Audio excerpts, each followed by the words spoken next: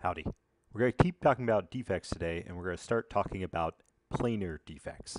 Um, so whereas before we were thinking about either points or line, these are extended defects um, that uh, represent two-dimensional uh, defects. Um, so they include things like grain boundaries and stacking faults.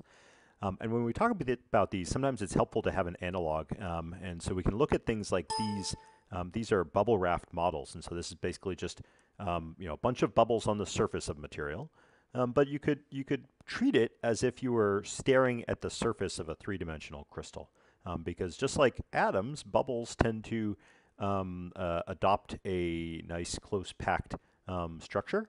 And so we can see that if we do this right, in some cases there are little flaws. So maybe there are vacancies over here, um, but there are also uh, extended defects. And so if I kind of trace a line along here, I see that you know, up here there's there's a particular packing, and it has uh, you know something that I could identify as lattice parameters, um, and below eh, there's the identical packing, um, but those lattice parameters are rotated with respect to the lattice parameters above. Um, and so this is the analog of what a grain boundary looks like. So I would call this uh, grain number one, maybe, and this is grain number two. Um, and this thing, the, the interface between the two grains, uh, is the grain boundary itself. And so again, here I'm just looking at a line, but if we uh, think about this as a three-dimensional crystal, that line would extend into and out of the surface, and so that would be the grain boundary. Um, so we're going to talk about uh, grain boundaries and other kind of two-dimensional defects today. We're going to talk a little bit about why do we care, uh, surface energy, so ultimately these things form to minimize the surface energy of the system. Uh, we're going to kind of go through a bit of a catalog of different types of interfaces, um, but we're gonna we're gonna talk um, quite extensively about grain boundaries, different general and special grain boundaries, um, interphase grain boundaries, so a boundary between two different phases, and then we'll uh, mention some details on magnetic domain boundaries later on. Um, and again, for more information, there's a great resource online um, that has a bunch of uh, you know graphical pictures of these things, but also gives more details than we're going to be able to go into today. Um, so here we are, we're talking about planar defects. Um, why do we care? Well, grain boundaries, again, they dominate uh, how a material behaves with certain kind of properties. Um, and so particularly if we think about things like corrosion resistance or stress corrosion cracking or even, even creep, total elongation to failure, these are all things that are dominated um, especially by how materials behave uh, along the grain boundaries. Um, and so, for example, uh, corrosion, you know, this grain boundary could could uh, be identified as a point of weakness, um, and it could preferentially oxidize or corrode along that grain boundary, and that could cause um, a crack to propagate into the material. And so we might not actually care about um, the corrosion resistance of a perfect single crystal.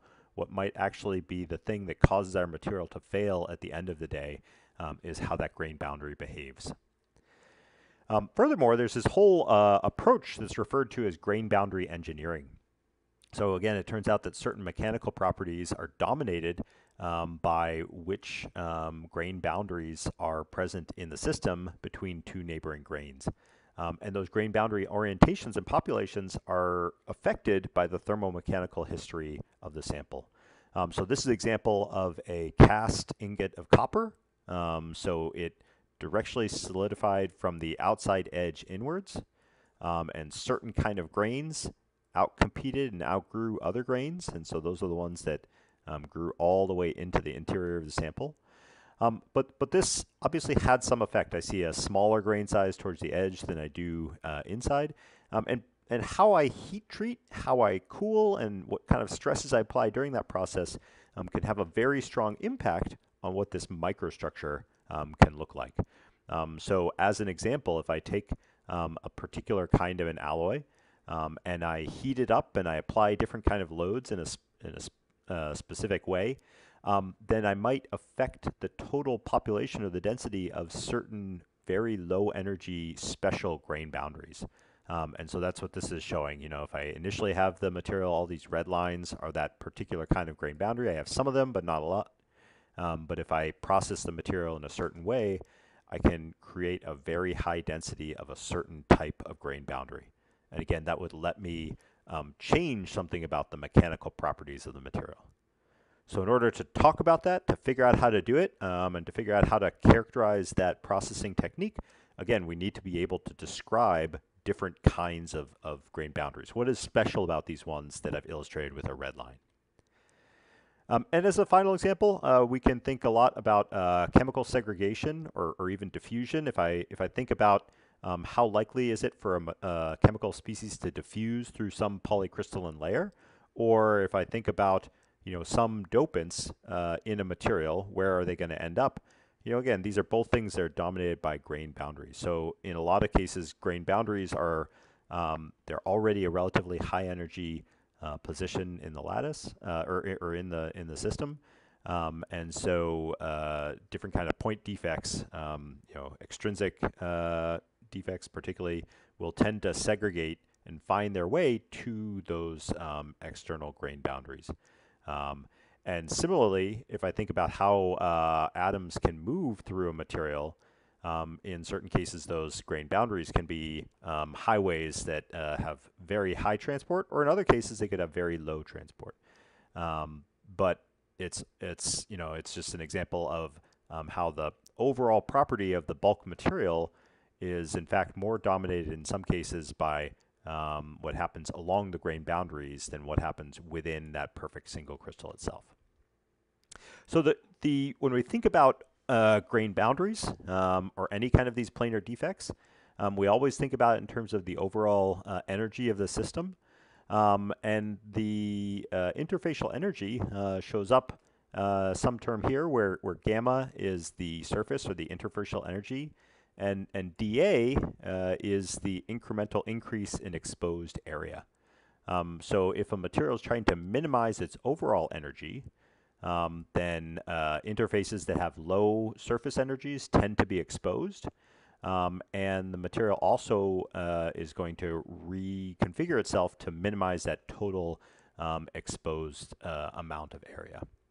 Um, and again, we can see this pretty clearly in analog. So if you think about um, bubbles, you know, if we look at any particular junction, so these are bubbles that are trapped um, within two within two planes, so basically confined to a sheet. Um, and if we look at that, um, we tend to see these 120 degree um, angles. Um, and this is because, you know, we have uh, three convergent bubble films and they're all sort of pulling outwards. And so that, that contact angle um, is basically adjusting itself to minimize the overall energy. And we can view this um, as there basically being uh, tension uh, in all of these uh, directions. And so that will result because it's the same, um, it's the same thing in each of these three quadrants. Uh, sorry, uh, each of these three portions. Um, that'll result in these 120 degree angles. Similarly, if we move to three dimensions, um, we kind of have a, a, an internal angle here um, where the angle uh, between the edges is the angle um, that we see inside a tetrahedron, so 109.5 degrees.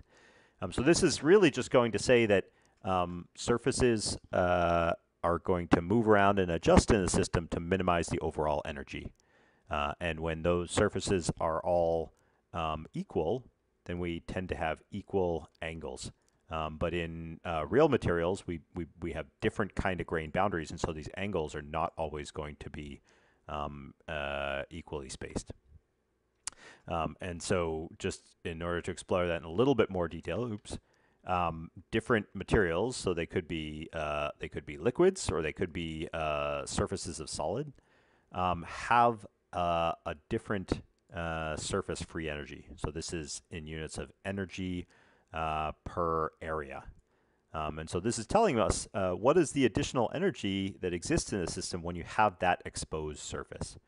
Um, so very low energy things tend to uh, wet very well, but you know again the main takeaway that I'd like you to think about from this um, is that the angles uh, between different kind of grains. So let's say I have um, a, a, grain of alpha here, another grain of alpha, and then a, a grain of a different phase um, these angles that I see between the different surfaces, uh, they're dominated by the energy balance that's associated with these surface free energy terms. Um, and so if we look at a polycrystalline material and we measure these uh, angles, then we can tell something about those uh, interfacial energies um, in the system. Uh, so there's a large variety of different interfaces that we might talk about. Um, and here we're just going to kind of talk about a general classification scheme. Uh, and the first thing that we would think about is what is on either side of the interface. And so in both these cases, this is an interface. Um, and if I have uh, two of the same thing, so maybe this is crystalline iron and crystalline iron, um, then that's a homophase, so same phase interface. Um, versus if I have two different things, let's say iron, and then maybe this is an iron carbide precipitate, or maybe it's a nickel alloy. Um, this would be a heterophase or interphase interface. And that just means that, I have different phases, different crystalline materials on either side of that interface. So the next question is, how are the lattices oriented on each side of the interface? And so if those lattices are basically um, lined up and continuous across the interface, um, so these are our lattice vectors, and if they're pointing in the same direction on both sides of that interface, um, then I have certain kind of defaults, uh, certain kind of uh, defects. Um, and so these could include things like stacking faults, antiphase boundaries, um, and if the lattice vectors are continuous and uh, pointing in the same direction across a heterophase interface, then I would call that a coherent grain boundary. Um, again, we're going to go into a lot more details of and examples of each of these later on. Um, the point of this slide is just to kind of classify all these different kind of interfaces. Um, what about if uh, they're not pointing in the same direction?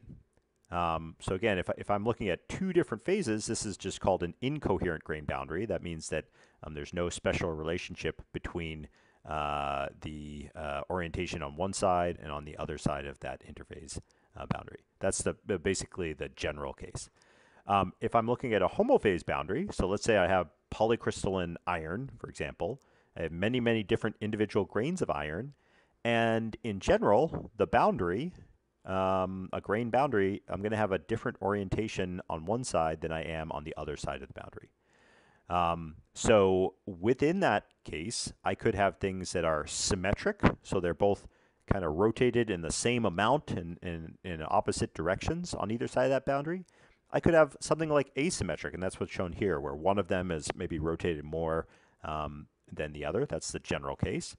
Or I could have very special things. I could have things that we talk, call uh, twin grain boundaries or low angle grain boundaries. Um, but these are all examples of uh, grain boundaries, so interfaces um, between two uh, uh, of the same phase. And again, we're going to give examples of each of these. Um, so the first thing is, let's distinguish um, the left side from the right side. So again, homophase is an example of something where on either side of the boundary, and so this is the interface we're looking at here, we have the same crystalline phase. It's just oriented in a different way. Um, and so uh, this is this is actually an example of a twin boundary, but it's it's a homophase because I have the same material, let's call it material X, on the left hand and on the right hand side of that interface. Um, and we could tell that in this case, so these are transmission electron microscope images. We can tell that because the lattice is exactly the same, it's just oriented differently uh, on either side. And you can kind of see it has this, this mirror uh, orientation relationship. And so that's what makes this a twin boundary. Um, if I look at a different case, you know, maybe I look at a boundary like this, I might see one material on one side and a different material on a different side. Um, so this is an example where um, people worked really, really hard to grow as perfect of an interface as possible between these two materials, but the materials themselves are different. So I have silicon on one side and gallium arsenide on another side. So this is an example of a heterophase boundary. Um, however, the crystal, the lattice, the lattices are almost uh, continuous across it. That's what um, uh, we're showing in the diffraction image over here. Um, and so this is what we'll call an epitaxial relationship. So that just means that even though um, I have two different crystals, um, I'm basically growing something that has a coherent grain boundary um, and it's almost as if, uh, you know, this is one continuous crystal. So that's an example of heteroepitaxy. Um, however, in our most general uh, classification scheme, these are heterophase boundaries because I have something different on one side versus the other side of that interface. Okay, so if we go back to our uh, index, we're going to give some additional example of, uh, of uh, planar defects that occur um, between two um, things uh, that are uh, both the same phase. So these are homophase boundaries. And the first thing we're going to talk about is a stacking fault. Now, if you remember back to your close packed structures, this is an example of an FCC lattice structure. Uh, we make these close packed structures um, by stacking together close packed layers in this alternating sequence A, B, C, A, B, C, and so forth. And that ABC just refers to the, um, the position uh, of, of each of these um, sort of sequential layers. So I start off with the layer A. Um, the next layer is a close packed layer, and it's shifted over a little bit. And the third layer is, again, another close packed layer, and it's shifted over a little bit further. Um, and then by the time I get back to the following layer, it's the same as that first layer. And so that's what I mean by A, B, C, A, B, C. So a perfect FCC crystal would have this ABC, ABC packing sequence. Um, however, we could have something like this. And so if you start from the bottom up, you see A, B, C, A, B, C. Whoops. So we're missing something right here, right? We're missing that A layer. And so this is what a stacking fault is. It's, it's when we have this um, structure uh, that is composed of um, basically close packed layers that are stacked in a particular sequence, um, and they are out of sequence uh, right here. And so this is a planar defect, and we call that planar defect a stacking fault. Now, we could have a couple different kinds. So on the left-hand side, we see uh, a perfect crystal. On the right-hand side, there's an example where we're basically missing one. So I would see A, B, C, A, B. There should be a C here, but then we go back to A, B. We could have an inserted plane, A, B, C, A, B, A, C. So there's an extra plane here. Um, and the thing that I want you to look at is what happens at the very end of this extra half plane. So again, you know, the, this, this inserted plane, it is a plane. It's extending into and out of the screen. Um, but it, it ends. It ends somewhere. And, and we've already seen this kind of a defect. So it ends at a line, and that line is an edge dislocation. Same thing here. At the end of this taken out plane, I have another edge dislocation. And so um, it, this, uh, this stacking fault sequence, it doesn't need to propagate all the way through um, the crystal. It could be limited to just one particular area and then bounded by uh, a dislocation loop. Um, and so we've actually kind of worked through an example of these before. If you think about having a FCC lattice and having this dislocation loop, we saw this when we were looking at dislocations, um, then that dislocation loop could be surrounding a missing plane uh, or an inverted plane. But, um, but you know, the top and the bottom surface would have some kind of a defect uh, between the two of them.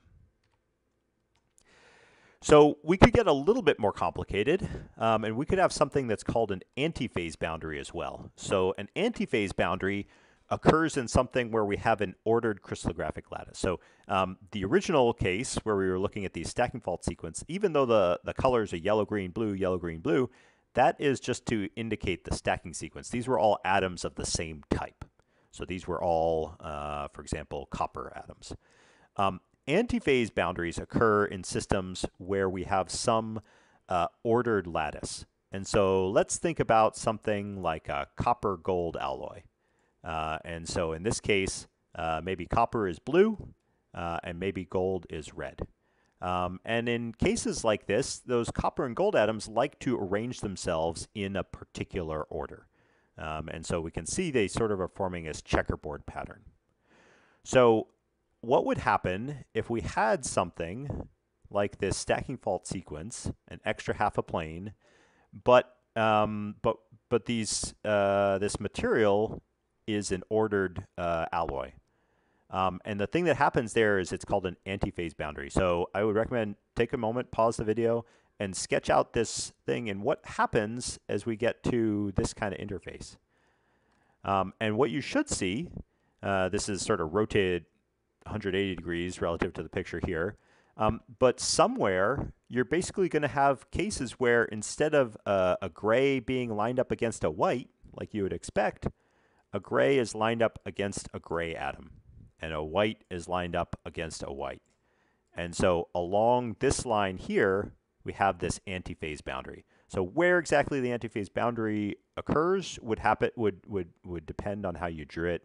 You know, it could also be extending downwards, but it has to be um, extending outwards somewhere um, from this uh, edge dislocation that's describing the extra half a plane of atoms. Um, and so again, we could have self-contained antiphase boundaries um, where the region uh, within uh, that antiphase boundary is uh, displaced relative to the region outside. Um, and so if we look at uh, the region here within this circle that's labeled C, we can basically see that um, you know it's it's uh, we can we can view it as being uh, displaced one small step from the surrounding region B. And so we could use that to describe the displacement across this antiphase boundary. So if, if these are our lattice parameters up here, um, then this is a, a 100 shift, right? Because I, I have my, um, maybe this is U1, this one up here is U2. Uh, so this is shifting along the 100 direction um, half a lattice parameter. Um, and so that's, that's the displacement across this particular antiphase boundary. Um, so different kinds of lattices um, tend to be susceptible to different kinds of displacements uh, across them. Um, and so the displacement up here, you would describe using this uh, diagonal line. And so that's a 111 type uh, direction um, that has a magnitude of uh, A over 4. So that's all we're going to talk about here. The next video is going to go on to a whole bunch of different kind of uh, grain boundaries.